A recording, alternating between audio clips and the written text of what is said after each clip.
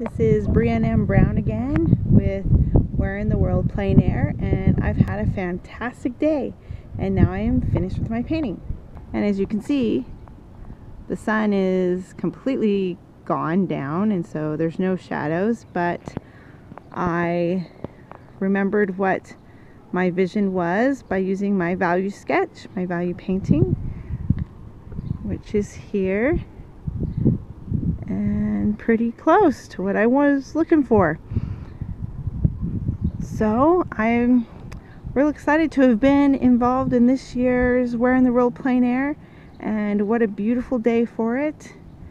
I am excited and I think this painting turned out the way I wanted it to. So it's a 9 by 12 on a watercolor panel and will be varnished and framed. Thanks for watching